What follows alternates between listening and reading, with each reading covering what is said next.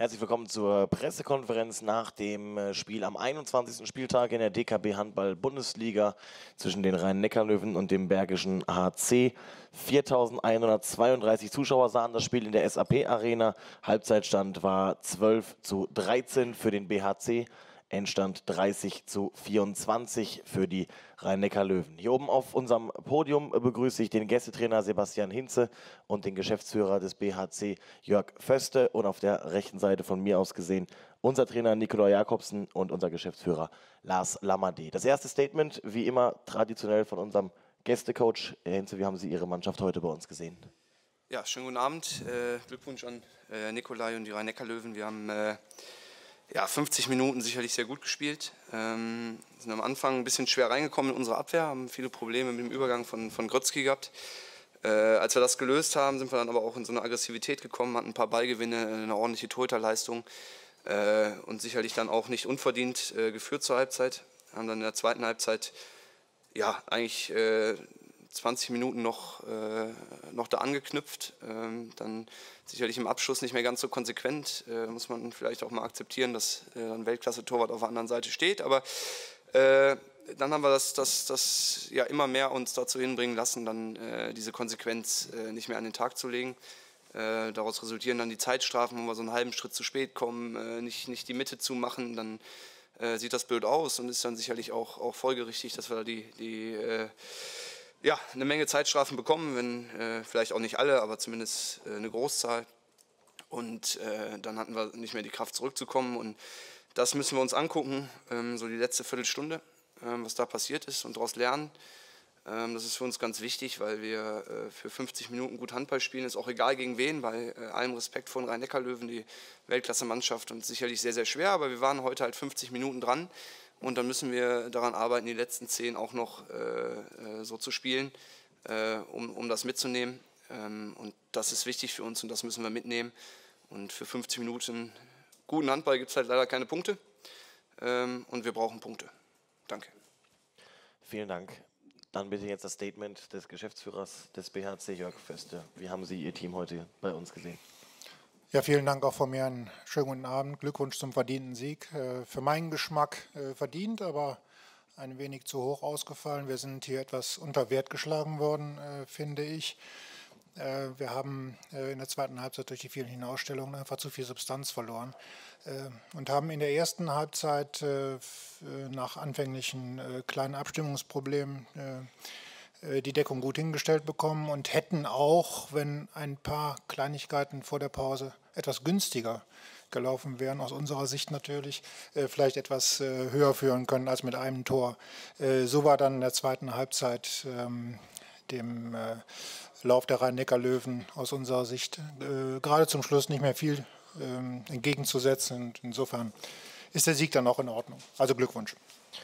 Vielen Dank. Unser Trainer Nikolai Jakobsen. Bist du zufrieden mit deinen Jungs heute? Ja, erstmal guten Abend. Ja, eigentlich äh, bin ich äh, mit, mit vielen Dingen äh, zufrieden. Ich habe das auch in die äh, Kabine jetzt äh, gesagt. Ähm, erste Halbzeit äh, fand ich eigentlich, dass wir sehr gut gespielt hat, aber haben leider so viele Bälle verschossen. Und zweite Halbzeit haben wir auch sehr gut gespielt, aber wir haben, und das ist ein Ding, dass wir auch viel darüber sprechen, dass wir einige Phasen, wo wir so viele Fehler machen und die Gegner so schnell ins Spiel wieder reinlässt, das müssen wir verbessern. Wir können uns nicht so fünf, sieben Minuten in, in jeder Halbzeit, wo wir äh, so viele Fehler machen, wie wir in beide Halbzeiten gemacht haben, auch heute hat man gesehen, 24-20, wo wir dann in Überzahl ist, dann verlieren wir äh, äh mit 2-0 ganz schnell. Und da darf Bergis ja nicht so schnell wieder im, im, Spiel reinkommen. Die haben das sehr gut gemacht. Wir wussten, dass wir mit viel Geduld spielen mussten in Abwehr, äh, weil die spielen clever. Besonders Gilaki hat uns äh, in der ersten Halbzeit äh, sehr schwer getan. Ähm, Niklas hat dann in zweiter Halbzeit sehr gut gehalten. Abwehr war besser, Knie war aggressiver, äh, sind früher rausgegangen in, in die Mitte. Und dann hatten wir vorne äh, eigentlich so wie äh, erste Halbzeit auch äh, sehr gut gespielt äh, mit äh, viele äh, gute äh, Angriffe, wo wir zum guten äh, Torchancen gekommen sind. So mit alle diese Sachen bin ich zufrieden, aber Äh, ich bin nicht zufrieden, dass wir äh, in erster und zweiter Halbzeit so Ausfälle hatten mit fünf, sieben Minuten, wo wir äh, auf unser Niveau äh, viel zu viele technische Fehler macht. Danke. Dankeschön, Nikolai Jakobsen. Dann bitte das Statement von unserem Geschäftsführer von Lars Lamadé. Ja, schönen guten Abend. Ähm, ich bin froh, dass wir die zwei Punkte bei uns behalten haben kann mich meinem Kollegen auch nur anschließen. Es war eigentlich, hätte es auch knapper ausgehen können.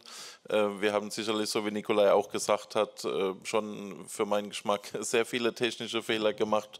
Äh, über das ganze Spiel gesehen, dass es am Schluss dann immer noch mit sechs Toren ausgegangen ist. Ähm, ja, sieht auf dem Papier, glaube ich, gut aus, aber ich denke, die Mannschaft weiß, dass sie sich steigern muss und dass sie sich, so wie der Nikolai auch gesagt hat, die Auszeiten, die sie sich genommen hat, teilweise irgendwie ein bisschen unkonzentriert konzentriert.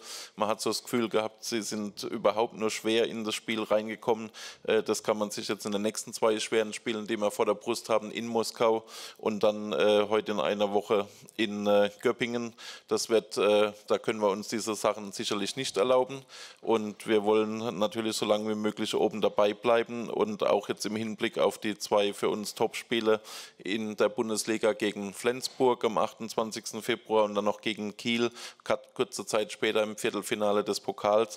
Da äh, können wir uns sicherlich diese gedanklichen Pausen, die wir uns da teilweise genommen haben, nicht leisten. Und, äh, aber ich denke, dass die Mannschaft das auch weiß und ich bin froh, dass wir jetzt nach der langen Pause und die Spieler erstmal alle wieder gesund von der WM zurückgekommen sind, bin ich froh, dass wir die zwei Punkte haben und wir freuen uns auf die nächsten Spiele.